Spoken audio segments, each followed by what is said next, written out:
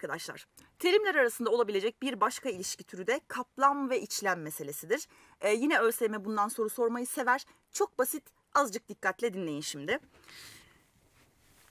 Bir kavramın içine aldığı tüm bireyler o kavramın kaplamını gösterirken bir kavramın adlandırdığı varlıkların ortak özelliklerin tümü ise o kavramın içlemini gösterir. Biliyorum hiçbir şey anlamadınız. Şimdi şu örnek üzerinden direkt anlatacağım mevzuyu size. Şimdi burada bir sıralama var. Varlık, canlı, hayvan, sürüngen, yılan, piton, Afrika pitonu. Farkındaysanız bunların hepsi birbirinin içine girerek devam ediyor. Şimdi kaplam dediğimiz şey aslında şudur. Bir kavramın kapsadığı, kapladığı bütün diğer kavramları gösterir. Dolayısıyla şimdi şu örneğe baktığımızda burada kaplama en büyük olan terim varlıktır. Çünkü canlıyı, hayvanı, sürüngeni, yılanı, pitonu, Afrika pitonunu kapsar. İçlem ise bunun tam tersidir. O kavramın içine girdiği nesnelerin fazlalığını anlatır. Dolayısıyla burada içlemi en fazla olan kavram Afrika pitonudur. Neden? Pitonun içine girer, yılanın içine girer, sürüngenin, hayvanın, canlının, varlığın içine girer. Dolayısıyla da kaplam ve içlem arasında ters orantılı bir ilişki vardır. Bir kavramın kaplamı arttıkça bakınız varlık, kaplamı çok fazla hiç içlemi yok. İçlemi azalır, içlemi arttıkça kaplamı azalır. Afrika pitonunun deli gibi şu anda burada içlemi var ama hiç kapsadığı bir şey yok. Kaplamla içlem arasında böyle bir ilişki vardır. Dediğim gibi önemlidir. Öğrenciler karıştırıyorlar. Buraya dikkat. Beş tümeller dediğimiz bir kavramdan bahsedeceğiz. Yine kaplam ve içlemle alakalı, onunla bağlantılı bir kavram bu. Burada da cins, tür, ayrım, özgürlük ve ilintiden bahsedeceğiz. Şimdi iki terimden kaplamı daha çok olana cins denir, içlemi daha çok olana tür denir. Yine aralarında ters orantılı bir ilişki vardır. Şöyle ki hayvan ve balığa bakalım.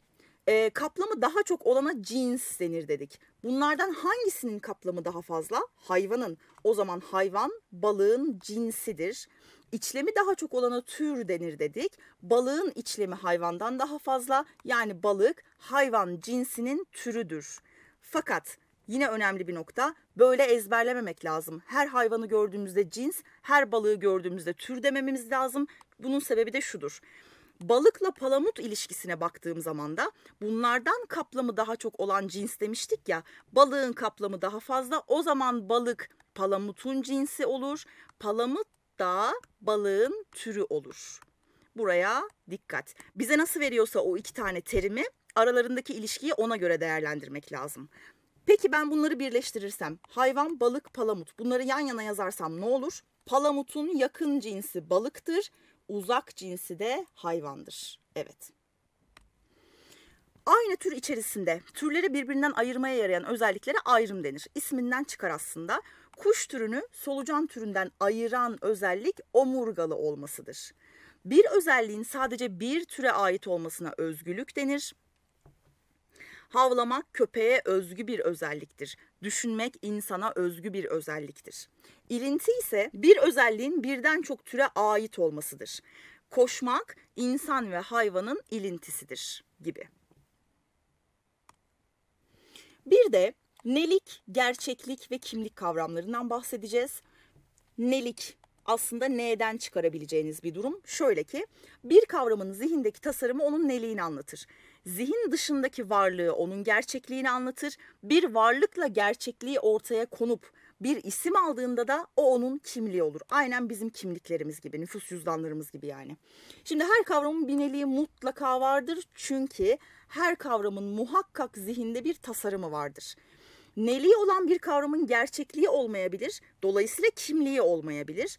Ama kimliği olan bir kavramın hem gerçekliği hem de neliği vardır. Bir örnek hemen. Dağ diyorum. Dağın bir neliği var mı? Tabii ki. Kafamda bir dağ tasarımı var. Diyorum ki Ağrı Dağı. O zaman ne yapmış oluyorum? Ağrı Dağı bir kimlik vermiş oluyorum.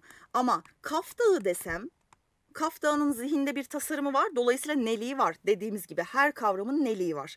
Ama Kaf Dağı'nın ne bir gerçekliği var. Gerçekte gösteremiyorum Kaf Dağı'nı ne de bir kimliği var. Dolayısıyla tekrar ediyorum. Neliği olan bir kavramın gerçekliği olmayabilir, kimliği olmayabilir. Ama kimlikten bahsediyorsak, Ağrı Dağı diyorsak eğer, Ağrı Dağı'nın hem gerçekliği olacak hem de neliği olacak.